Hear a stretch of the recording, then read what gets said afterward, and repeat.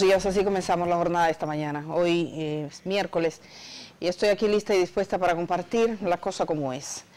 En el día de hoy tenemos un programa que eh, nos, digamos, tiene nuevos acontecimientos. Hace unos días estuvo en este programa el sociólogo Miguel Pérez, eh, estuvo analizando el discurso del presidente de la República en el que renunciaba a la posibilidad de una repostulación presidencial. El presidente lo hacía, decía él, motivado por el respeto a la ley, básicamente, y dijo que incluso hubo una campaña al inicio, desde que comenzó su gestión, eh, endilgándoles cosas que no eran. Juan Miguel habló largo y tendido de ese, de ese discurso, estuvimos en una entrevista que duró aproximadamente 20 minutos, posteriormente le fue comunicada su cancelación en el órgano especializado en el que laboraba en el Ministerio de Educación. Juan Miguel había sucedido ya, creo que tres administraciones dentro del Ministerio de Educación, tres ministros o secretarios, según lo que he podido contabilizar, pero él nos puede aclarar un poco más. Así daba a conocer en su cuenta de Twitter, en el día de ayer anoche, a las 9 de la noche, una información que está importada. Vean ustedes lo que dice Juan Miguel de esa cancelación que le voy a leer de inmediato para que lo conozcamos todos. Dice, eh, dice, eh, castigado por opinar, me ha dicho mi jefe inmediato en el Ministerio de Educación que por órdenes superiores he sido cancelado de mi puesto. De palabra me informa que la razón es una participación en televisión en la que comento hechos recientes y en la que he hecho críticas a la clase política gobernante. Así me lo ha comunicado tanto a mí como al resto de mis compañeros de trabajo. No queda ninguna duda de cuál es el mensaje. Opinar contra lo que en algún momento son los intereses del poder tiene consecuencias, se paga caro. Bien, he pagado, pero tengo preguntas. Si disentir es un principio de la democracia, ¿cómo justifica el Ministerio de Educación una acción como esta? ¿Pretende el Ministerio de Educación instalar un pensamiento único al que sus técnicos deben plegarse? Soy sociólogo, estudio la sociedad, he estado por años, por siete años, desempeñando funciones que van desde miembro del Consejo Nacional de Educación hasta director nacional del nivel secundario, modalidad general, pasando por haber sido director de estudios nacionales. ¿Qué se supone que haga por ocupar puestos como estos? ¿Alquilar por un tiempo mis criterios? ¿Asumir el trabajo como un favor que implica callar opiniones? ¿Qué tipo de educación hace algo así? No estoy dispuesto. Yo pregunto, además, ¿con qué cara me pediría algo semejante la autoridad llamada a instituir un sistema educativo nacional que aspira a convertirse en el otro nombre de la libertad? ¿Cuál es entonces el criterio con que se forman los niños, niñas y adolescentes que asisten a las escuelas públicas? Más que un puesto o un salario, me preocupan las respuestas a estas preguntas. Juan Miguel Pérez, sociólogo, profesor universitario, egresado del Instituto de Estudios Políticos de París, de la Escuela de Altos Estudios en Ciencias Sociales de París y de la Universidad de Columbia. Ahí tienen ustedes la carta de Juan Miguel Pérez con fecha del día de ayer, hoy exportada en los periódicos. Su última entrevista, las palabras que dijo fueron en este programa. Yo tengo eh, un resumen de esa entrevista. Quiero dar los buenos días a Juan Miguel. ¿Cómo estás? Buenos días, Edith. Juan Miguel, eh, voy a hablar contigo sobre lo que ha pasado, sobre las circunstancias que han, que han rodeado todo esto. Antes yo quisiera que viéramos rápidamente un resumen de tu entrevista, de tu participación y que tú luego nos expliques eh, qué fue lo que ocurrió. Ya sabemos que el Ministerio de Educación, según esta comunicación que ha dado a conocer públicamente, te ha cancelado y que estabas en un área súper especializada además. Vamos a ver a Juan Miguel de inmediato esa, esa grabación que es un resumen de la entrevista. Y le recuerdo, yo lo que hice fue, le presenté cortes del discurso del presidente y él los analizaba. Por razones de tiempo lo limitamos a 14 minutos. De que iniciamos nuestro segundo periodo de gobierno y a pesar de que nunca hablé de este tema ni mostré ninguna intención de volver a ser candidato a la presidencia, se pusieron en marcha diferentes campañas de desinformación y descrédito en torno a la posibilidad de que optara a un periodo más de gobierno.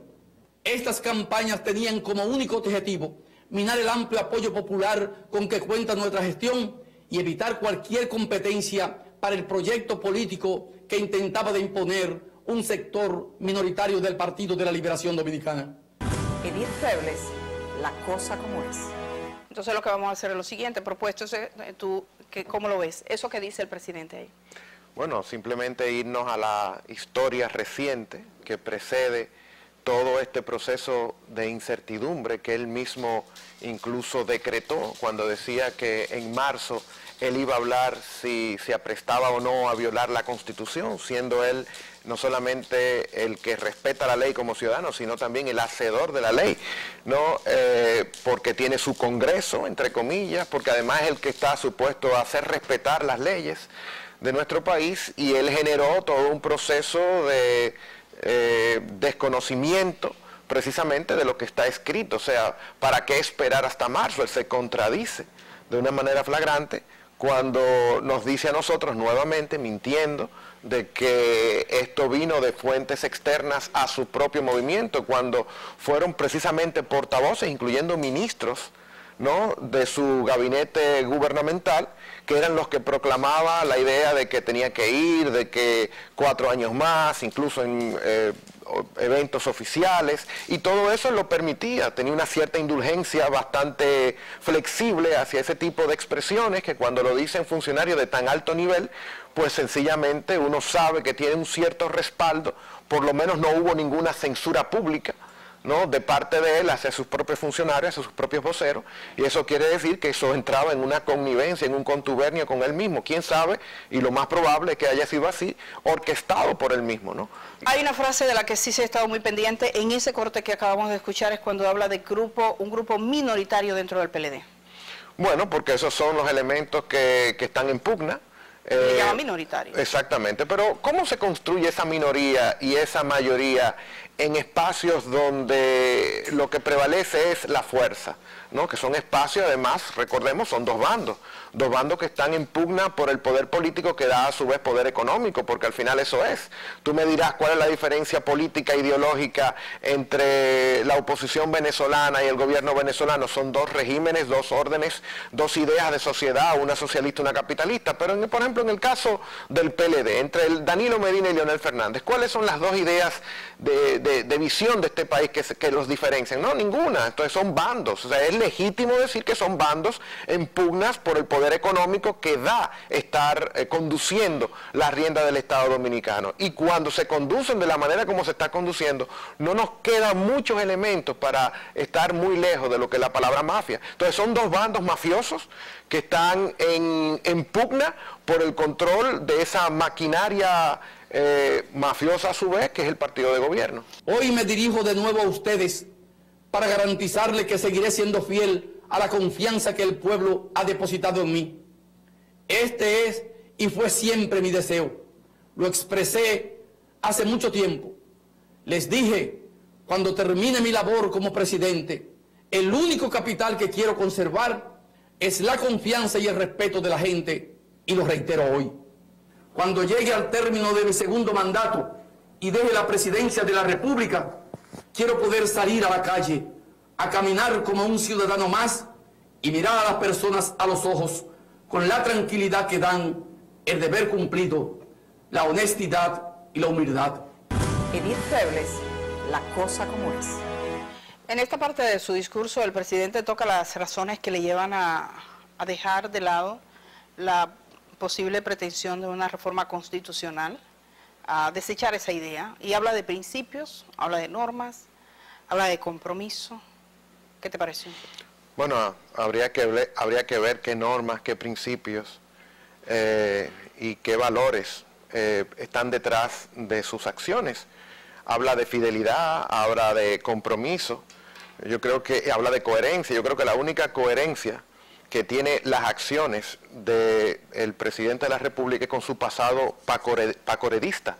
¿no? Aquí estoy muy joven, este país es muy joven para saber, eh, sobre todo lo que nos escuchan, lo que fue el Pacoredo, un grupúsculo de pseudo izquierda que eh, lo que hacía era eh, perturbar y entorpecer todas las acciones de la izquierda en los años 60, finales de los 60, principios de los 70, ¿no? precisamente porque estaba infiltrada por eh, el gobierno derechista y reaccionario de Joaquín Balaguer. Y ahí militó este presidente que, dicho sea de paso, eh, fue de los eh, autores que hizo que Juan Bosch renunciara en el año 1992, cansado de todo lo que estaba viendo que se producía contrario a sus principios bochistas en el Partido de Liberación Dominicana, que fue la antesala, ese, ese accionar de todo este grupito de todo este grupúsculo que hoy dirige el comité político de ese partido y por ende prácticamente la nación y el Estado dominicano que se lo han adjudicado como si fuera una propiedad, una finca particular, ese mismo grupo fue que hizo renunciar a Bosch y ese mismo grupo fue que hizo eh, eh, firmar el célebre y funesto pacto patriótico con Joaquín Balaguer, gracias al cual ellos están ahí, eh, so pena de pasarle por encima la tumba de tantos jóvenes dominicanos que murieron aquí en pro de las libertades públicas y de otra república dominicana un poquito más justa, sobre todo para los más humildes. Y esa gran traición que fue precedida a su vez por la traición de la socialdemocracia dominicana encarnada en los gobiernos de Guzmán y de, Salvador Jorge Blanco, fue la que estableció histórica y nuevamente lo que iba a ser una gran oportunidad, lo que se veía como una esperanza, volvió a ser traicionada por un Leonel Fernández y su séquito, incluyendo a Danilo Medina, que era el, en funciones primer ministro de entonces, hasta que supuestamente el Estado lo venció y él ahora tomó al Estado como botín para él poder eh, estructurar todos esos elementos. Principios, ¿cuáles son los principios? Son eh, doblegársele a Pompeo, que vino aquí, principios cuáles son, lo de tratar por todas las vías de comprar a los legisladores que finalmente no le dio la cuenta, ¿no? Y entonces ahora me habla de principios, no, Danilo Medina fue derrotado, fue derrotado porque no encontró eh, el dinero suficiente o, la debilidad moral suficiente en, sus adversarios para poder comprarlo. Eh, Danilo Medina fue derrotado en las calles cuando el sentido común de la sociedad que tiene un poquito de recursos para poder financiarse, protestar y poder disentir del discurso oficial, pues le dijo que no. Y también por porque no tiene una estructura política de base, no eh, en la simpatía de la gente, producto no solamente de, de este atrevimiento de violar la Constitución, sino también porque su gobierno ha defraudado y decepcionado a los dominicanos en las expectativas de la vida material concreta, en las cuales le ofreció y en las cuales no le ha tenido. ¿Por qué? Porque hay que recordar cuál es el principio. Estamos hablando del jefe de Joao Santana, estamos hablando del jefe de Punta Catalina, estamos hablando del jefe en esta última etapa de Odebrecht en el país. O sea, un presidente que haya estructurado ¿no? Eh, todo este mecanismo de corrupción como el que está actualmente siendo objeto de crítica a nivel internacional, no puede tener normas, o si la tiene, no son las que él dice que tiene. Juan Miguel eh, Pérez, vamos a continuar con otro corte de ese discurso del presidente de la República, ahora sí que viene como el futuro, futuro con sangre nueva, veamos. En marzo del año 2018 me reuní con siete compañeros del PLD que habían mostrado aspiraciones presidenciales a quienes animé a presentar sus precandidaturas para mostrarle al país que el partido cuenta con rostros nuevos capaces de renovar la actividad política de la República Dominicana. Cuatro de ellos incluso dimitieron de sus ministerios voluntariamente para dedicarse a tiempo completo a trabajar por sus precandidaturas. Aún con todos estos anuncios y acciones, la agresividad verbal, lejos de aminorar, se incrementó de una manera despiadada irrespetuosa y desconsiderada. En su momento, el comité político del PLD me expresó su apoyo mayoritario, consciente de que la campaña contra mi persona y contra el gobierno era injustificada y estaba fuera de todo sentido de proporción y justicia. Edith Febles, la cosa como es. ¿Qué nos eh, refiere esto? Mire, él habla de agresión. ¿Quién agrede a quién? ¿No? Porque él reduce Fíjate qué niveles de egolatría tiene este señor, que reduce su querella con otro, con su contrincante político, que es su par en todos los sentidos, Leonel Fernández, a un, a un, estado de nación, a un, asunto de Estado. ¿no? Agrede. ¿Quién agrede? ¿El gobernante a, a, ese que lo quiere suceder o agrede él a la nación cuando pone por caprichos personales a una nación en vilo? ¿No? a una ciudadanía, a un pueblo, a un país, a una república en, riesgo, ¿no? ¿Dónde está la agresión como tal? Pero eso es normal, los abusadores siempre buscan hacerse víctimas y decir que los abusados, que en este caso hemos sido los ciudadanos de este país, eh, somos los que eh, hemos iniciado con nuestra protesta, aún él incluya al otro contrincante, al innombrable, eh, Leonel Fernández como parte para desprestigiar a todo lo que ha sido el reclamo nacional de la gente, ¿no? de que está cansada ya de que se manejen las instituciones políticas eh, de esta manera. Eh, lo otro es que el presidente de la República establece, fíjate, fíjate cómo habla del apoyo y el agradecimiento a, a los compañeros de su eh, órgano de, dirección del partido, como si son referencias, e incluso incluye al partido Veleta, Partido Revolucionario Dominicano, y a su líder, el canciller eh, de la República actual, ¿no? como referencias, cuando él sabe muy bien, porque al final hay una segunda verdad, que él conoce el desprestigio total que tienen estas personas. Pero a veces el poder te lleva tan alto a los Olimpos que te hace desconectar con la tierra. Y la tierra que está en cada una de las esquinas, en cada una de los parajes, en cada una de las secciones, en cada lugar de discusión está sublevado contra el orden imperante actualmente. Y eso es lo lamentable, esa desconexión, y lo decíamos en otras ocasiones, esa desconexión de los dirigentes con los dirigidos, ¿no? Y esa acción que tú decías a propósito de Puerto Rico, que no es verdad que aquí no se protesta. Aquí hay micro protestas todos los días. Lo que pasa es que no ha habido los espacios y estructuras organizadas para que, para que esas protestas desemboquen en lo que en Puerto Rico han desembocado. ¿Y tú sabes por qué?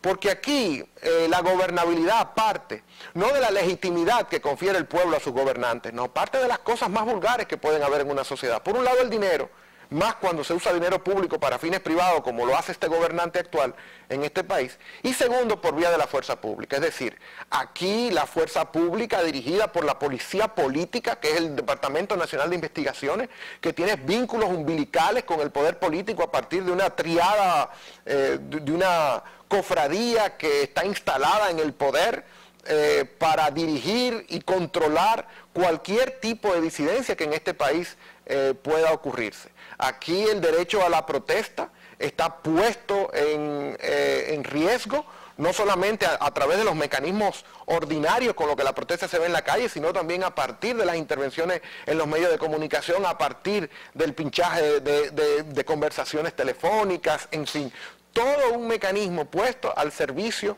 de un gobernante que no quiere irse del poder y que lamentablemente hoy busca eh, reelegirse de otra manera, que ahí viene la segunda reelección.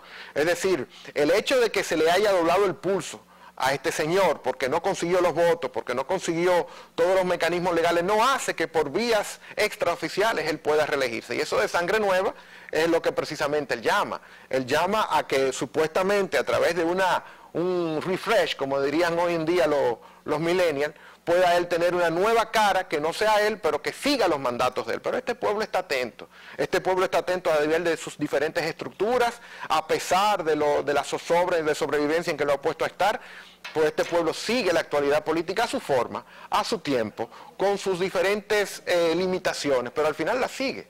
Al final la sigue, y te reitero, si hay cierta gobernabilidad de este país es gracias a esos dos factores tan vulgares como nefastos, que es eh, la fuerza pública y el dinero público utilizado de manera ilícita para comprar voluntades. Edith Febles, la cosa como es.